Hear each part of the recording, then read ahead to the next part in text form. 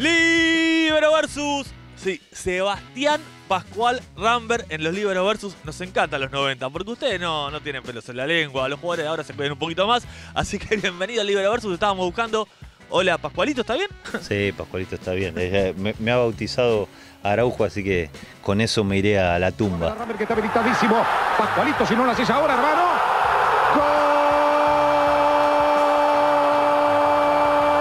Si no hubiera sido jugador de fútbol, ¿qué habría sido en tu vida? Me hubiese gustado ser músico. Mi vergüenza no me deja hacerlo públicamente ni para amigos, ese tipo de cosas. ¿Tenés amigos músicos? Juanse, hace poco estuve con él y ¿En serio? eh, en Chile. Tiene 200.000 historias, es, un- es- es muy divertido. A mí está allá arriba, es uno de los más grandes. El mayor tiempo que permaneciste sin dormir. No te lo puedo decir, queda mal. ¿Por qué? Y bueno, no sé, debe haber sido un mes. Nah, ¿cómo hace para no dormir?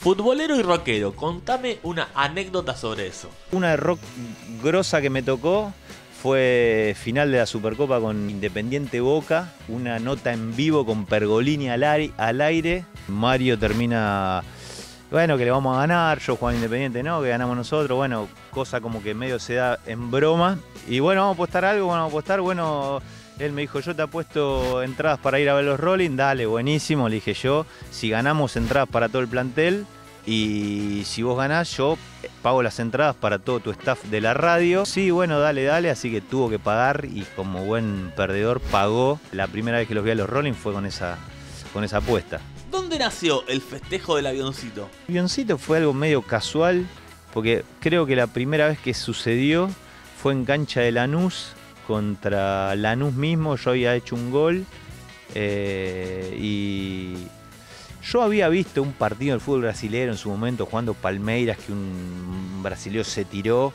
y derrapó, pero una cancha embarrada y patinosa que hizo como 5 metros. Ahí la cancha estaba seca, yo me tiré y me acuerdo lo tenía Caña al lado, Caña me miraba y me decía, este está loco, ¿qué hace? Medio como que en los 90 los jugadores empezaron a identificar con un festejo y era el festejo. Eh, vos festejabas y hacías un gol así. Y como que la gente decía, ah, el festejo lo hizo. Es como que medio se identificó la cosa así.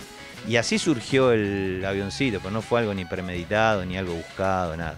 Hoy sos entrenador de la selección chilena con Berizzo, tu hijo juega en Independiente, en los 90 era figura. ¿Qué cambió el contexto del fútbol de esa época con esta?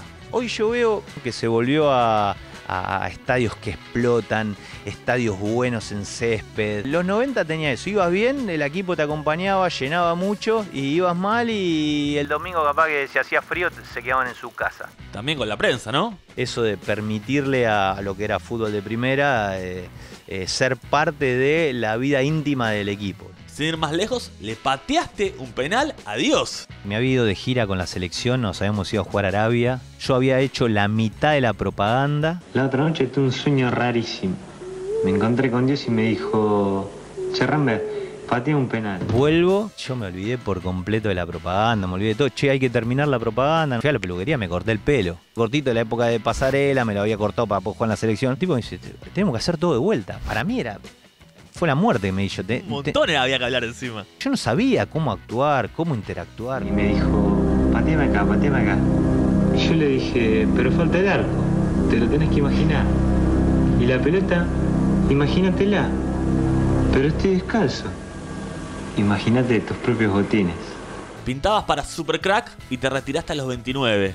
¿Cómo definís tu carrera? Si tengo que volver a firmar por esta carrera, la firmo y digo, sí, la quiero. Haber jugado con Maradona, haber jugado con Francescoli, con Ortega, con Gallardo, con Garnero. En River jugar en, el Inter, jugar en, en Boca, jugar en Zaragoza, haberle hecho gol al Real Madrid, eh, haber jugado cosa importante, haber jugado para la selección argentina. Nueva operación de rodilla con limpiezas, con cosas que me fueron haciendo, con eh, problemas de cartílago, con un montón de situaciones que si yo le tengo que buscar, digamos, un pero, para mí es ese.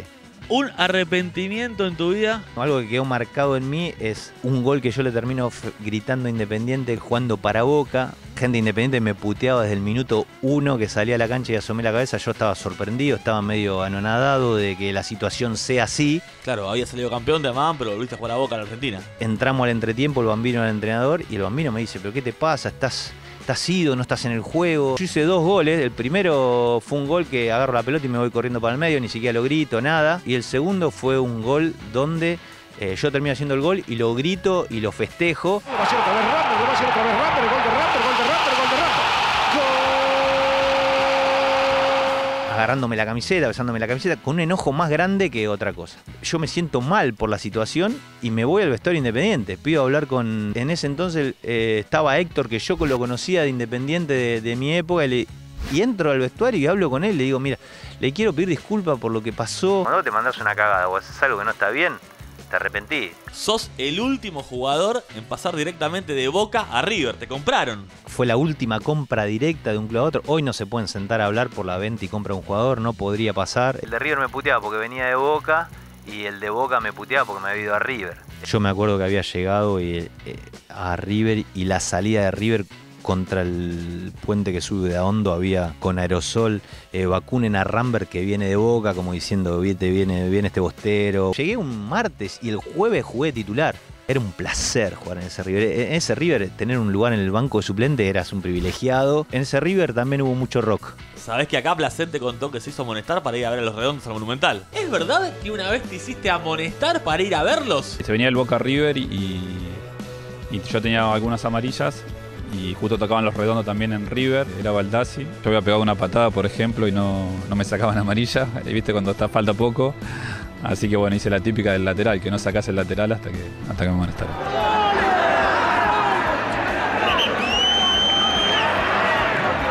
Amonestado. consiguió lo que quería Placente, la amarilla que necesitaba. Hice las dos cosas, fui al recital los dos días y, y limpié para el River Boca que faltaba una o dos fechas. Genio. Yo, yo no lo pude ver nunca a los redondos, pero para mí es un sueño. En su momento capaz que no le di tanta bola como hoy, que capaz que los escucho y digo, pero qué bueno, qué buenos que eran o que son, digamos, porque están ahí. ¿Se llevaban bien en ese River campeón de todo? Nunca había escuchado tantas puteadas en un túnel como llegué a escuchar en ese, en ese, en ese túnel. Se puteaban entre todos hasta el punto de piñas, de casi ¿En quererse ir a las piñas y eh, separarse en el túnel a medida que íbamos al vestuario porque uno no había corrido, porque el otro le había dado mal la pelota, porque el otro no se la daban. Pero después te tocaban adentro de la cancha y se, eran leones que te defendían. ¿Es mejor jugar en River o en Boca? En ese momento Ramón dijo que iba a estar más cómodo con él. que revela el nombre de Rambert, por ejemplo. No sé. Yo eso no lo había comentado con nadie. ¿Pero querrías un jugador de Boca River? Sí, se habló seguramente porque nos interesa. Porque quizás funcione en River. Eso es seguro. Eso no queda ninguna duda. ¿Era mejor jugar en River? Sí, era mejor jugar en ese River.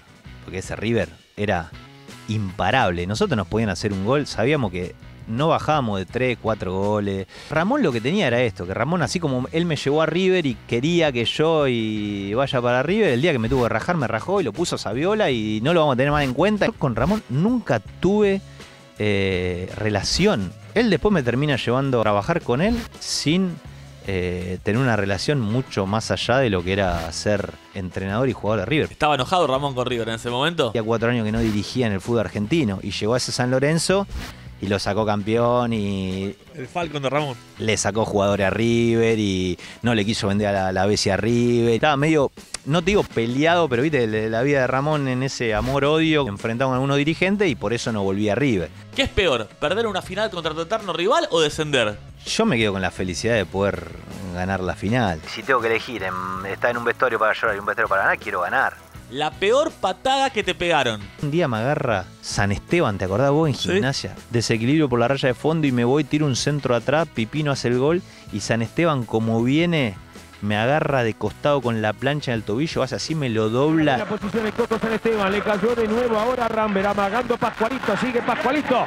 Me gusta la de Pascualito para meter el centro Pascualito, dejó Tejunero. Me sacan con el carrito, del carrito a la ambulancia y de la ambulancia a la Suizo-Argentina a hacer una resonancia. El, el partido no había terminado, imagínate cómo estaba yo. Ramón viene y me dice, vení, vení, pibe, pibe, vení, me agarrás, te subís al auto, te vas de vacaciones, no te quiero ver más por cuatro días. Cuando vení vas a que vas a volver a entrenar.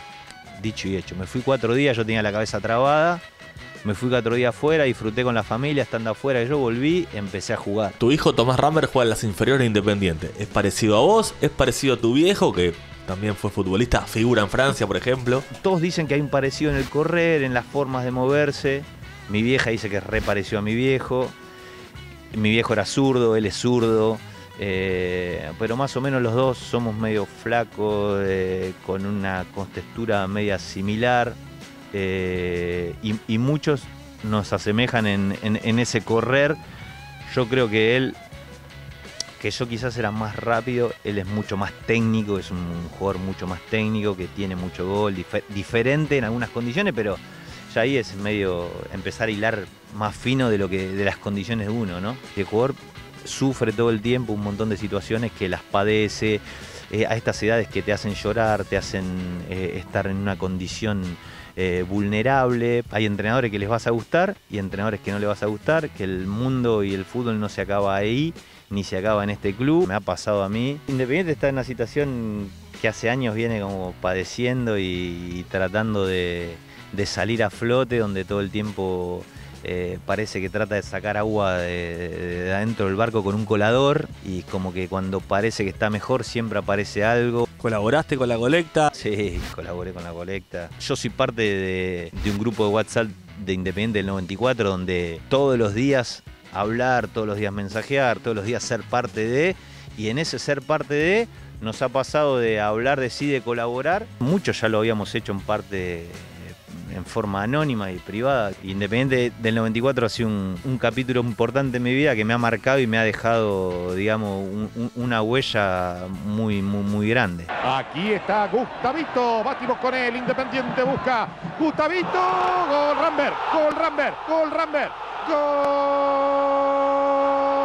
Gol. Te tiro un ping-pong de técnicos, medios personajes de los que tuviste. Pedro Marcheta. En las charlas era muy divertido, era muy gracioso y una noche jugamos contra Belgrano y él decía a Cancelarich le, le patea con un colchón y le haces el gol. Siempre arrancaba con cosas así. Cancelarich no sabe lo que fue, no le podíamos hacer un gol. Garnero, Garnero, Garnero. Cancelarich. Otra vez Garnero. Cancelarich. Nos puteaban a todo. Víctor Fernández, lo tuviste en Zaragoza, le reventaste una botella. Estoy tomando agua y Víctor Fernández aparece, se asoma y dice, bueno, eh, cambio, sustitución, sale Rambert y yo me acuerdo que estaba con la botella de agua tomando, bajo la botella de agua, pum, la reviento contra la pared y digo, me sacas a mí, que me pongo a, correr por derecha a todo el mundo, juego en una posición que no es la mía, hago favores, medio que se me acercan algunos, medio como que me tranquilizan, me sacan, eh, se arma medio un revuelo dentro de lo que es eh, el, el partido. Esa es una de las razones por las cuales yo no me quedo en Inter, es porque en Zaragoza es porque mi relación con Víctor Fernández había sido te- terminó siendo, viste, ya después eso nunca fue lo mismo. Imagínate, con un entrenador vuelve a hacer una cosa así. Lo tenías a Berti de compañero.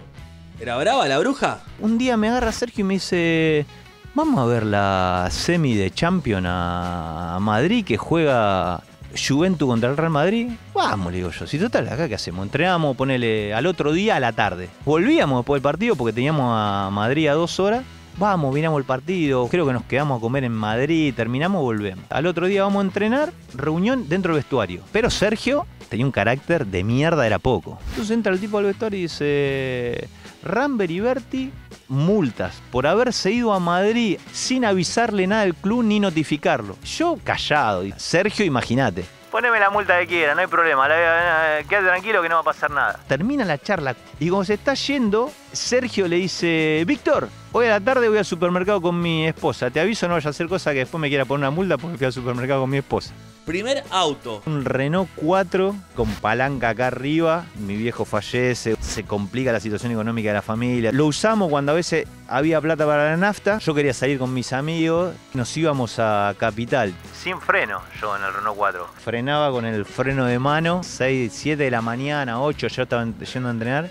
Estaba esperando para poder doblar. Vino un auto de atrás, me la puso, pero terminé abajo un puente como a 50 metros, Villa Real, se cagaba de la risa cómo me había quedado el auto a mí. Para mí era por una catástrofe, porque tenía, era lo único que teníamos para poder movilizarme. Al Inter de Milán llegaste con Zanetti y Roberto Carlos. ¿Es verdad que el brasileño te usaba de chofer? Él sabía manejar, pero no le gustaba manejar. Entonces íbamos con el auto, volvíamos al hotel, un trailer Stratus. Y teníamos, claro, vida de hotel, todavía no habíamos conseguido casa. En su suite nos sentábamos a, a tomar un gancia con picada y charlábamos ahí mirando el lado de cómo. Le gustaba la joda como todos los brasileños. Te costó adaptarte a Italia. ¿Era muy fiestero ese Inter? Me voy a vivir a la casa de un jugador que se llamaba David Fontolán. Él estaba recién separado, tenía una casa que no sabe lo que era. Era como una caverna y la caverna era toda de piedras. Más allá de ser lujosa, mucho rococó, era parlantes ultramodernos que pasabas el mano y se abría el vidrio y metías el CD. Yo decía, wow. Entonces me decía, Sebastián, andamos a tomar algo,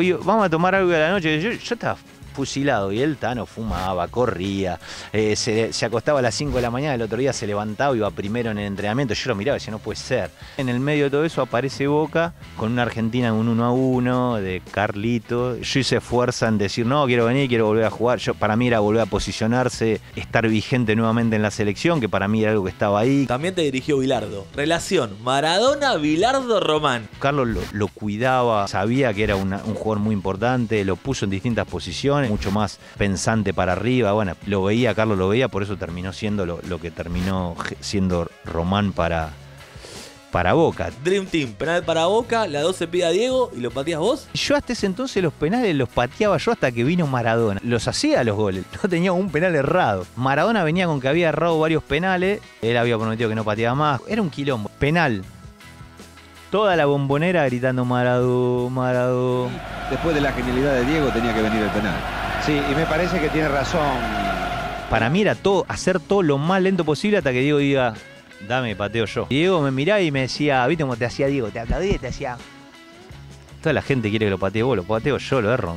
¿Qué necesidad? Ahí va la orden, Ramber, Ramber, Ramber. Atacó Varas y la pelota que termina en córner. Córner para Boca.